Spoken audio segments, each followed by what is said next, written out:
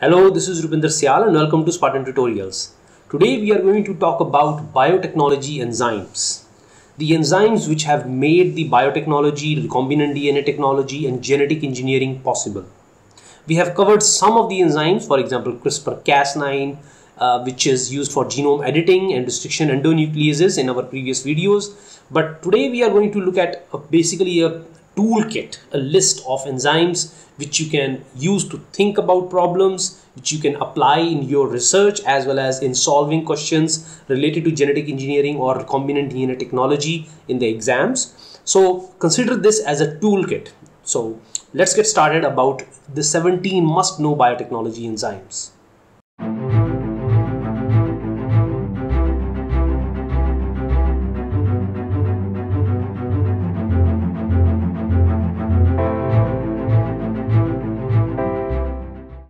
So there are four categories of enzymes that we will be dealing with.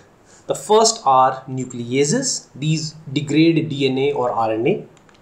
Then we have ligases. These are used to join DNA molecules or RNA molecules.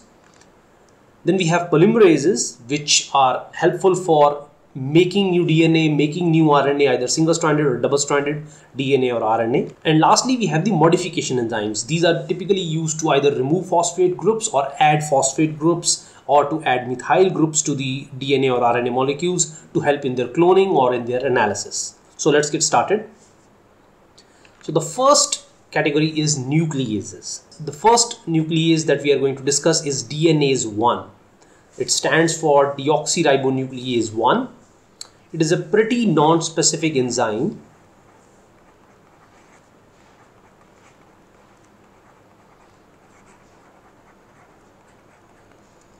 Is usually provided as RNase free preparation by reagent manufacturers and the double-stranded DNA or any DNA which has overhangs can act as the template for this enzyme. So there are multiple uses of DNase 1. One is to generate, for example, genomic DNA free RNA preps. So when we are isolating RNA and we get want to get rid of the genomic DNA or template DNA, then we can use DNase 1. And because it is RNase free, so the RNA is not harmed. It is also used for DNase 1 footprinting, which we have already covered in one of the previous videos. So if, if you haven't watched that, please check that video out. It is important for finding the binding sites of transcription factors on different DNA sequences. And lastly, it is also used for nick translation. So nick translation means making radio labeled or fluorescently labeled probes in the DNA using the polymerase activity. So DNase 1 is used to create these cuts and then we can use Klenow fragment or intact E. coli DNA polymerase 1 to make these fluorescent or radio-labeled probes. So DNase 1 has these four different types of uses. Second is exonuclease 3. Exonuclease 3 basically chews up DNA non-discriminately and it is used to generate single-stranded DNA for dideoxy sequencing or what is known as Sanger sequencing. It is a double strand DNA specific exonuclease. So one important distinction about nucleases is that they can be exonucleases so they chew from the ends of the DNA or they can be endonucleases which means that they can cut even inside the fragment. So just to give you an example here an exonuclease can target only the ends of the DNA molecule whereas an endonuclease can target any of the part of the DNA and that's what restriction endonucleases which you are most commonly familiar with they do they they can target any DNA fragment present inside a long DNA molecule the specificity of exonuclease 3 is any double-stranded DNA molecule with either 5' prime overhangs or double-stranded blunt DNA molecule. These two are the substrates for exonuclease 3. Okay, moving on.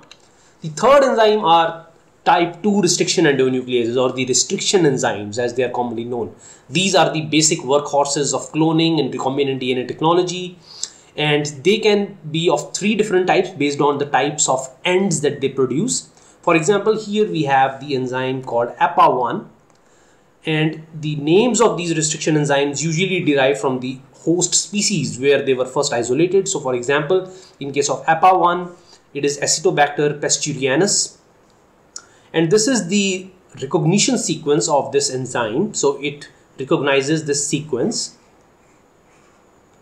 And here you can see that it is extending the cut at both the DNA fragments towards the 3' prime end. So what it does is it generates a 3' prime overhang. So this is a neat trick to remember whether it generates a 5' prime overhang or 3' prime overhang. You will get a lot of questions regarding cloning for this and you can solve this by just looking at the overall direction of the overhang. So if this is the restriction enzymes recognition sequence, if it is over here towards the 3' prime end, this is the center, then it will generate 3' prime overhang. If it is here, then it will generate 5 prime overhang and if it is right in the middle it will generate blunt ended DNA. Then we have BAMH1 so this is the enzyme isolated from Bacillus amyloliquefaciens and here you can see it will generate 5 prime overhang.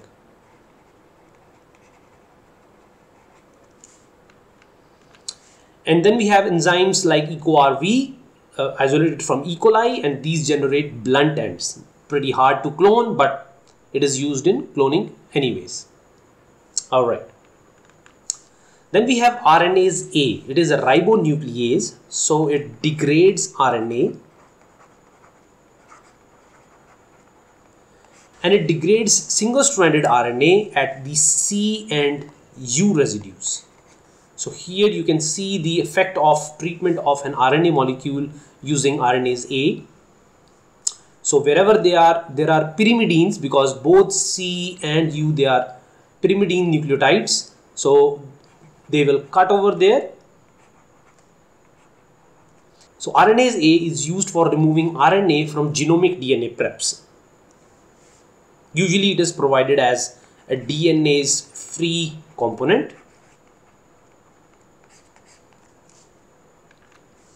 Another type of RNase is called RNase H. So it has a slightly different specificity. It can recognize RNA DNA hybrids and specifically degrade RNA. So it is very useful in cDNA synthesis where we want to get rid of the RNA and then synthesize the second DNA fragment. Alright, moving on. Number six, S1 nuclease. So S1 nucleases is, has been very useful in transcriptional start site mapping. It is a single strand specific nuclease. It degrades DNA or RNA which is single stranded. So usually what people have done in the past is use them. First they isolate mRNA and then use a radio labeled probe to hybridize it to the mRNA and then chew up the hybrid with S1 nuclease so that all the single stranded fragment is digested and it is destroyed and we are left with only the hybrid part and the difference between the length of this full length probe and the digested probe gives us an idea about the location of the transcription start site. Hugely important because we still have no algorithm or unique sequence for transcription start sites so it has been immensely useful in transcription start site mapping. Nowadays we have better technologies like RNA-seq, but in the early days of uh, recombinant DNA technology and molecular biology, S1 nuclease mapping was the gold standard for TSS mapping. Okay, coming to enzyme number 7 which is BAL31 exonuclease. This is a DNA and RNA specific exonuclease and as we already talked about different exonucleases, they can target from the both the ends of the DNA molecule. So it is repeat routinely used for progressive shortening of DNA ends. So if we want a smaller DNA fragment, if we want to chew it up, use it for cloning or for other purposes, then BAL31 exonuclease is used. Okay, coming to ligases and here we have just one ligase which is the T4 DNA ligase. Hugely important although there is only one. This is isolated from phage-T4. So it catalyzes the phosphodiester bond formation between two DNA strands. So it is used for ligation and cloning. Okay, now we come to polymerases. The first polymerase is Klenow fragment of DNA Pol 1. Klenow fragment was isolated back in the 1970s as kind of a C-terminal fragment of E. coli DNA Pol 1. The N-terminus and the C-terminus fragment were isolated after treating it with subtilisin. The N-terminus has the 5' to 3' exonuclease activity and the C-terminus has 3' prime to 5' prime exonuclease activity. So the Klenow fragment is used for blunt ending a DNA molecule. So if we have a DNA molecule which has 3' prime overhang, using 3' prime to 5' prime exonuclease activity, it can be used to make it blunt. So there is no overhang and it can be used for cloning so it has other uses also. It is also used for generating probes using random primers which we will talk about in a later video. And it is also used for second strand cDNA synthesis because it retains its polymerase activity. So it has the polymerase activity and 3 prime to 5 prime exonuclease activity. And that leads to formation of these blunt ends. And it is also used for the second strand DNA, cDNA synthesis enzyme number 10 E. coli DNA Pol 1 hugely important. It is used for Nick translation. So this is the complete enzyme from the Klenow fragment Klenow fragment is just the C terminal part but this is the complete DNA polymerase 1 this is not the main DNA polymerase. So in the past it has been used for Nick translation and second strand cDNA synthesis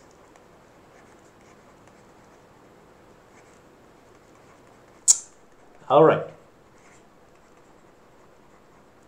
So these are the two uses of E. coli DNA Pol 1 okay coming to the superstar of molecular biology and microbiology. First isolated by Thomas Brock in Yellowstone National Park of USA Taq DNA polymerase. It is isolated from Thermus aquaticus. And you can see the scanning electron micrograph picture of this bacterium right here. This is a thermostable DNA polymerase. It is stable at high temperatures. So it, it can be used to carry out PCR very easily. Earlier the PCR reactions used to be done by replenishing at every cycle. So we had to provide fresh DNA polymerase at every cycle because it used to get deactivated. Taq DNA polymerase really revolutionized PCR and DNA forensics and all the aspects of molecular biology so a workhorse of molecular biology, very useful. Nowadays, there are better DNA polymerases available also from extremophilic organisms which have better fidelity and uh, much less error rate as compared to Taq DNA polymerase. But still, for colony PCR and routine PCR uses, Taq DNA polymerase is the go-to enzyme. Alright, number 12, T7 DNA polymerase. This is isolated from phage T7 and this is used in site-directed mutagenesis when we want to make the second strand of DNA. So in a future video, I will definitely talk about site-directed mutagenesis. In the meantime, you can check your textbooks and see how second strand DNA synthesis is carried out. T7 DNA polymerase is used for that. Okay, number 13, T7 and T3 RNA polymerases. And I would like to add actually SP6 RNA polymerase also. These are three RNA polymerases which are extensively used for in vitro transcription reactions and for making lots of RNA which can be further used for in vitro translation. Okay, so making radioactive probes or fluorescent probes or antisense RNA probes. T7 and T3 RNA polymerases are used as well as the SP6 RNA polymerase. So very strong promoters and very high fidelity enzymes. So they are used routinely for these purposes. Okay, enzyme number 14, reverse transcriptase. Reverse transcriptase we just discussed in our recent video about detection of COVID-19 by real-time RT-PCR and RT there stands for this enzyme called reverse transcriptase. What it does is it converts RNA to DNA Specifically, it is known as cDNA. Here you can see the mechanism. So we use it to generate first strand cDNA synthesis using reverse transcriptase. Then we degrade the RNA using RNase H and then we synthesize the second strand of DNA and it leads to amplification. Later on you can use it for PCR so reverse transcriptase is used to convert RNA to cDNA so it is used in in vitro diagnostics as well as in RT-qPCR alright number 15 terminal transferase. Terminal transferase is an important enzyme. It is used in TUNEL assay as well as specific PCR methods which use terminal transferase and what terminal transferase does is it is a non-specific nucleotide adding enzyme. So it is a polymerase, but it adds any nucleotide without the need for any template to the 3' end. So it is very much used for TUNEL assays as well as making longer DNA or making labeled DNA. For example, biotinylated nucleotides are added to the mixture and those can be added to the DNA molecules and they can be used as probes. So terminal transferase is also pretty useful. And lastly, we have the modifying enzymes. In the modifying enzymes, first we have enzyme number 16, alkaline phosphatase. Alkaline phosphatase removes the 5' phosphate groups from DNA. This is important if we want to generate probes using Nick translation and using T4 polynucleotide kinase, as well as if we want to prevent the circularization of vectors. So this is commonly used that if we have insert and vector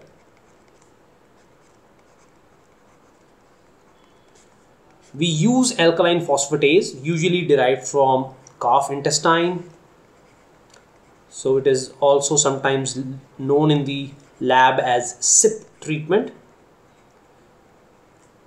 CIP stands for calf intestinal phosphatase and there are other versions also antarctic phosphatase shrimp phosphatase these are available from manufacturers. And what we do is we dephosphorylate either insert or vector and this prevents them to recircularize or ligate with each other so that only insert vector combinations can form. So it dramatically improves the efficiency of cloning.